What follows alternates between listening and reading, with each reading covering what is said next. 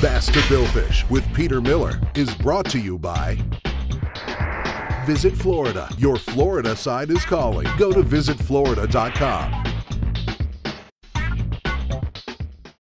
We get a bite on the kite, and I knew it was a sailfish. So what do I do? You got a sailfish on. Are you kidding? No! And Danelle grabs the rod, and she starts to fight the fish. And she thought that the tuna pulled hard. I don't think she was prepared for what the sailfish was about to do. Go up and then wind down, now down, and now stop. Ah, he's pulling the line. And I'm just, I'm concentrating so hard because he keeps running. So I'm looking, and as I'm reeling, he's running out farther than I can reel him in. Not gaining anything. So what you do is you watch your line to see that you're gaining, and when you go down, there you go. It's like it like it's like no effort. Between the three of you guys, you're probably the strongest people I've ever had on the boat.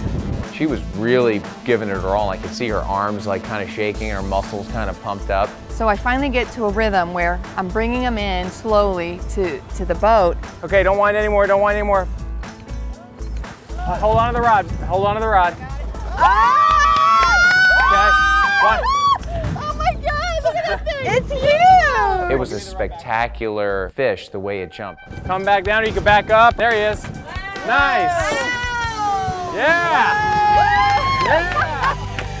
Holy that thing is beautiful.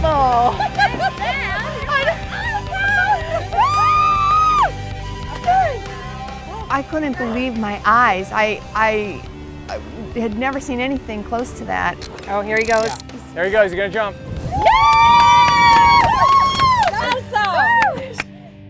Winding and we're getting this fish closer and closer and closer. She did a great job, got it right up to the boat. Back up, back up. Wind up that slack, then out, wind up that slack. Okay, good. I kept going. I'm like, I'm, I'm just gonna get this guy closer. I, I, I can't believe it. The winder, she never stops.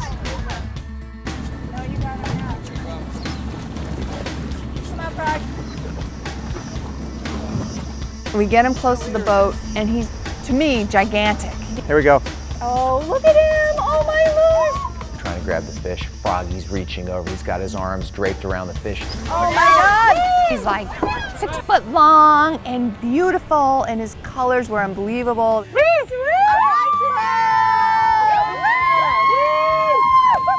Typically, we don't bring the fish in for photos. We always practice catch and release, which we did with this fish, but for her first fish, this was special.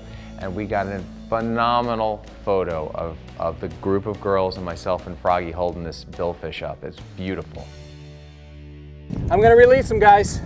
Let me get him out from under the boat. Ready? Here we go.